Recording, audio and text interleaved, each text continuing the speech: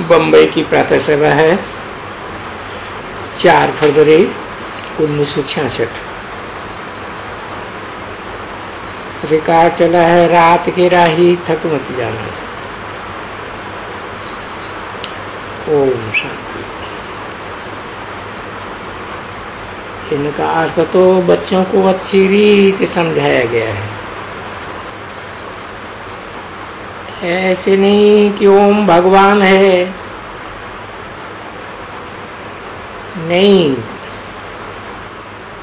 एक तो बाप ने समझाया है कि मनुष्य को भगवान नहीं कहा जाता है।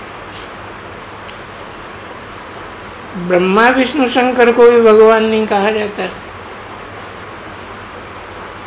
ऊँचे ते ऊँचा है ही शिव बाबा। शिवाय नमः। सबकी बुद्धि में आता भी है कि शिव बाबा है। बल शिव के मंदिर अनेक हैं, नाम भी अनेक रखे हैं। परंतु है एक ही शिव। सभी आत्माओं का बाप एक है। ये बात अच्छी रीति समझ लो। यहाँ जब बैठते हो तो तुम सब ब्राह्मण बी के ब्रह्मा कुमारियाँ एक मत हो। और कोई भी सत्संग में जावेंगे तो वहाँ अनेक मत होंगी। कोई किसका पुजारी होगा, कोई किसका पुजारी? बाप समझाते हैं, मनुष्य को कदापि परमात्मा नहीं कहा जाता इस मनुष्य सृष्टि में मनुष्य को देवता भी नहीं कहा जाता दैवी गुण वाले देवता, ये लक्ष्मी नारायण है। बच्चे जानते हैं, भारत में पाँच हज़ार वर्ष पहले इन्हों का राज्य था। ये तो सब जानते ही हैं। दुनिया में कोई भी नहीं जानते। वो तो कह देते हैं, सतयुग को लाखों वर्ष हो गए। कलयुग तो अर्जुन बच्चा है। यह भी मनुष्य, सभी।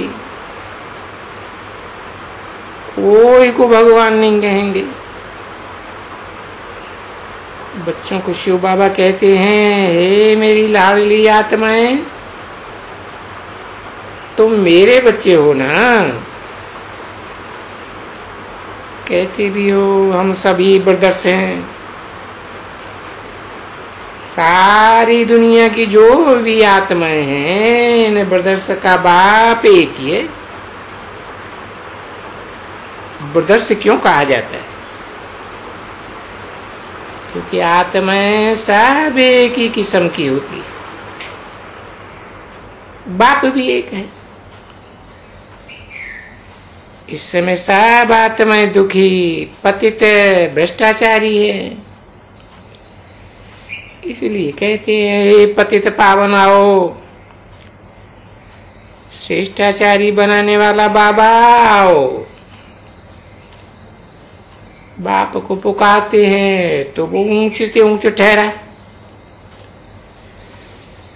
तुम्हारी बुद्धि में ये सब बातें हैं। नया तो बिल्कुल समझ न सके। क्योंकि ये है नई नॉलेज पतित से पावन बनने की नॉलेज पावन बनाने वाला, सर्व की सदगति देने वाला एक है। बाकी तो सब एक दो को दुर्गति में ही ले जाने वाले लौकिक बाप भी दुर्गति में ले जाते हैं। टीचर भी अल्पकाल के लिए पढ़ाते हैं। जैसे पढ़ाई से कमाई लायक बन पड़ते हैं। इसे एक जन्म के लिए। अच्छा। गुरु के पास तो कोई भी एम ऑब्जेक्ट नहीं है। वो क्या कमाई कराते हैं? सदगति दाता पतित पावन तो एक ही है। फिर और कोई गुरु तो हो ही नहीं सकता। ये है ही पतित दुनिया। यथा राजा रानी तथा प्रजा। कोई भी प्राइम मिनिस्टर है अथवा श्री श्री या 108 के लाने वाले सभी पतित हैं। कलयुग को पतित, सतयुग को पावन कहा जाता है। सतयुग में थी दैवी संप्रदाय। यहाँ है रावण, आसुरी संप्रदाय। पावन दुनिया में पतित एक भी नहीं होता। पतित दुनिया में फिर एक भी पावन नहीं। ये बात तुम बच्चे ही जानते हो।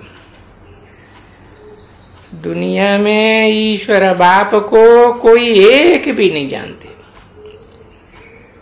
सब निर्धन के हो गए।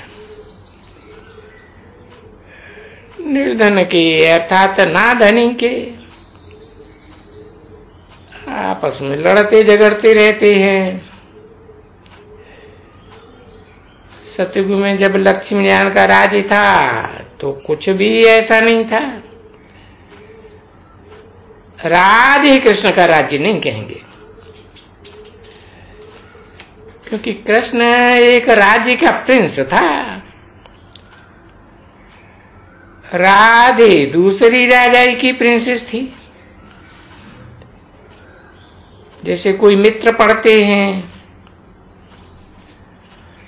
दोनों एक दूसरे के घर के थे। दूसरे, दूसरा घर था। आपस में भाई बहन भी नहीं थे। ये बात बाप समझाते बाप को एक भी मनुष्य नहीं जानते। कहते भी है, हे शिव बाबा बाबा तो सबका हुआ ना। उनकी ये है रचना। रचना से रचना को कोई वर्षा नहीं मिलता है। ये कायदा नहीं है। भाई भाई को वर्षा नहीं दे सकता।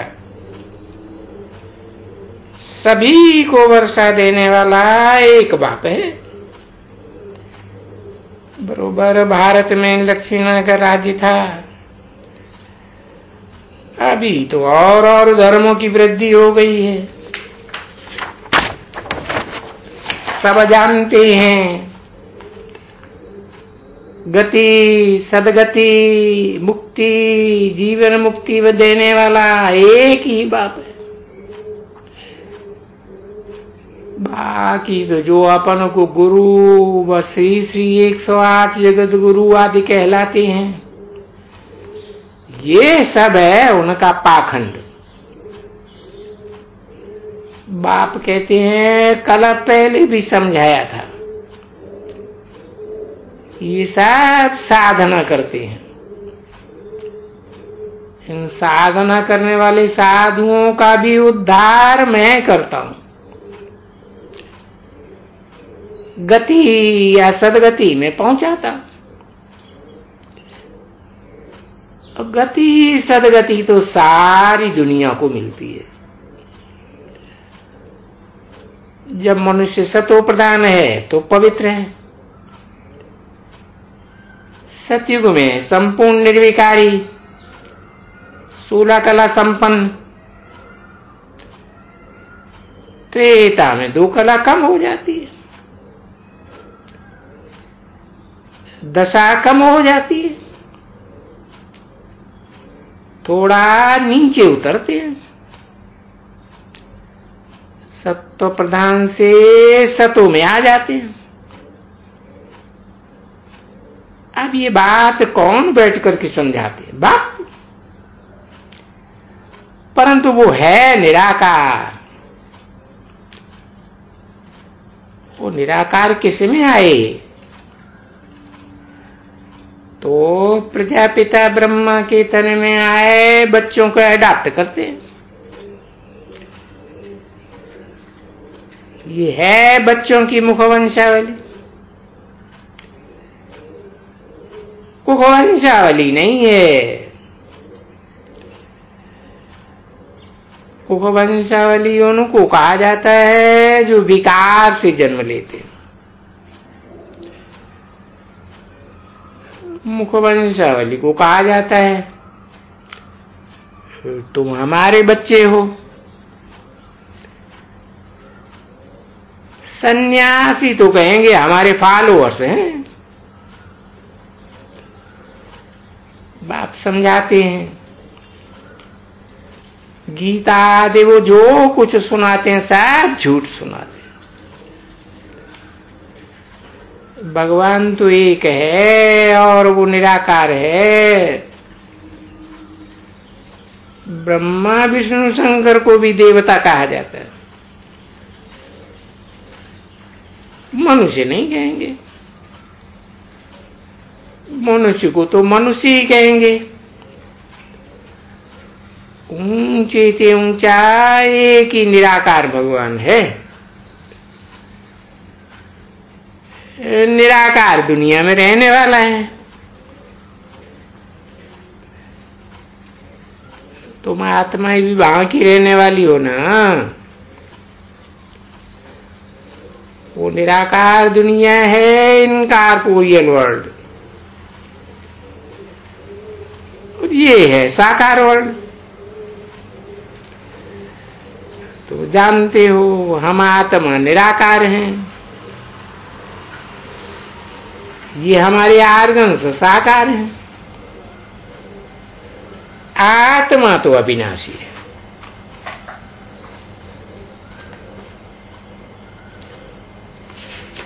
ओम शांति